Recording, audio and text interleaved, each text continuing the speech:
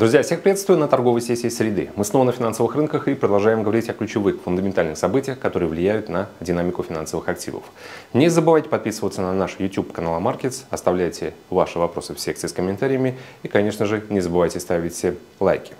Сегодня на повестке экономического календаря в 10.00 по GMT ждем индекс настроений еврозоны. Показатель, который поможет нам а, оценить а, общее настроение в рамках валютного блока на фоне слабых макроэкономических отчетов. Но я думаю, что легко или, по крайней мере, нетрудно догадаться, что эта статистика вряд ли порадует оптимистов и больше даже разочарует, что может стать источником для развития нисходящей динамики по евро.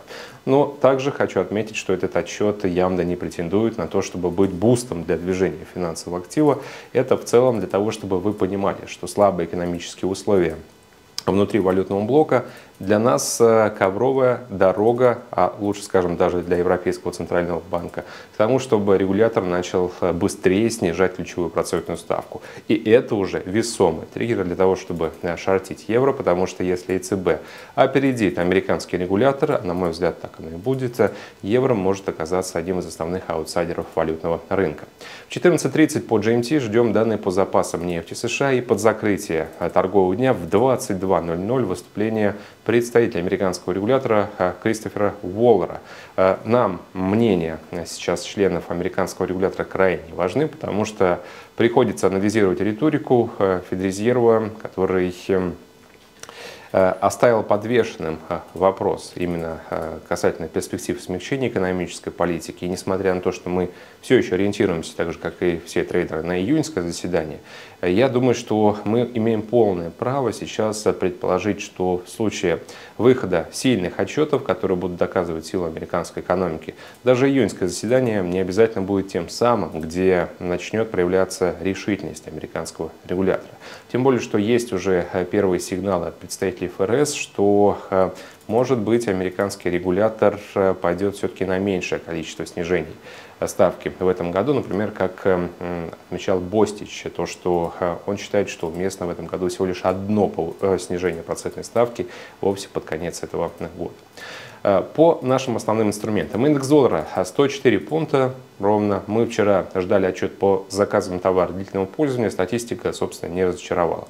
Рост показателя 1,4%. Это выше, чем ожидали эксперты и существенно выше, чем показатель двухмесячной давности, когда было зафиксировано снижение на 6,9%.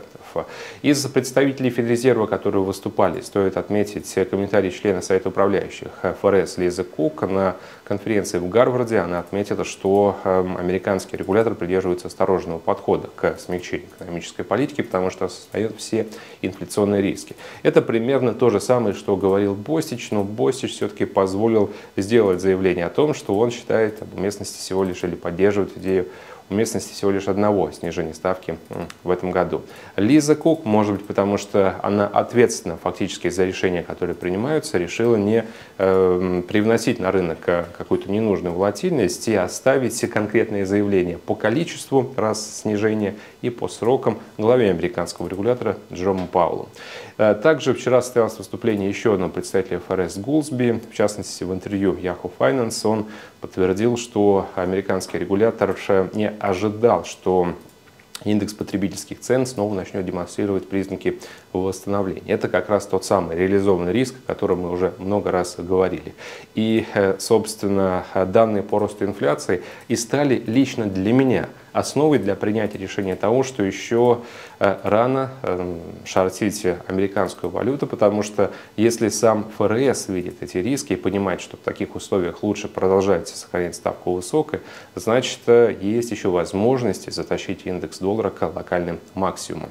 Э, по данным инструмента FedWatch Tool, это здесь важный момент. Э, после вчерашних выступлений представителей Федрезерва, после данных по заказам товара длительного пользования, вероятность снижения ставки в июне стала ниже, чем на начало прошлого дня. Сейчас 58%. А если вы вспомните показатель конца прошлой недели, там рынок закладывался под снижение ставки в июне с вероятностью 68%. Посмотрите, минус 10% за буквально несколько дней, причем у нас не было стоящих релизов. А вот завтра они будут. Завтра первичные заявки на пособие по безработице и показатель ВВП. В пятницу еще и индексы PCE. В общем, под конец недели мы можем убедиться в том, что правильно делаем, покупая американскую валюту с целями 105 и выше. Золото 2178 долларов за тройскую унцию. Здесь идея в шорт все так же актуальна. Рост доллара, э, доходность американских облигаций э, на высоких значениях 4,24% и сантимент 50 на 50 без э, сигналов. Если считать, что в таком состоянии рынка лучше не открывать позиции, может быть, это правильное решение. Но для тех, кто эм, готов рисковать, я все-таки еще с конца прошлой недели, когда золото обновил локальный максимум, транслировал идею того, что нужно шортить, и в целом золото уже неплохо упало. Евро против доллара 1.0830. Вчера состоялось выступление главного экономиста Европейского центрального банка Филиппа Лейна. В частности, ЕЦБ, как он отметил, обдумывает э, смягчение монетарной э, политики. И в этом году европейский регулятор может снизить ставку 4 раза. Это больше, чем ФРС. Даже если ориентироваться на точную диаграмму того, как будет меняться процентная ставка со стороны американского регулятора, ожидать, что это будет три снижения ставки. Вот ЕЦБ скорее всего, пойдет э, дальше, на 4 снижения. Но важный момент заключается в том, что если действительно будет 4 снижения ставки, то нужно начинать действовать не в июне, а гораздо раньше. Это то, о чем я говорил. Здесь идея в шорт все так же актуальна. Британская валюта 1.2615. Предварительные данные по инфляции показали, что цены на продовольственные товары в прошлом месяце выросли на 4,5% в годовом выражении, а против прежней оценки роста на 5,3%. То есть инфляция снижается, об этом также говорил Банк Англии, и это приближает тоже период первого решения от британского регулятора по снижению ставки, что э, также легло в основу вот этой сделки по продаже британской валюты. Завтра данные по ВВП, ждем подтвержденного факта рецессии, готовимся к тому, что пара фунт-доллар может нацелиться на движение в районе отметки 1.25. Американский фондовый рынок S&P 5280 пунктов. Ждем обновления э, уровня 5300, тестирование максимумов и уход выше. Данные по ВВП, первичным заявкам на пособие по безработице, заказан товар длительного пользования, хорошие условия для того, чтобы фонда росла. Биткоин, ориентируемся на новые максимумы. Сейчас котировки чуть выше 70 тысяч, цель 73-75. И доллар иена 151.66 текущие котировки, 130 пунктов, друзья друзья, остается до нашей цели 153.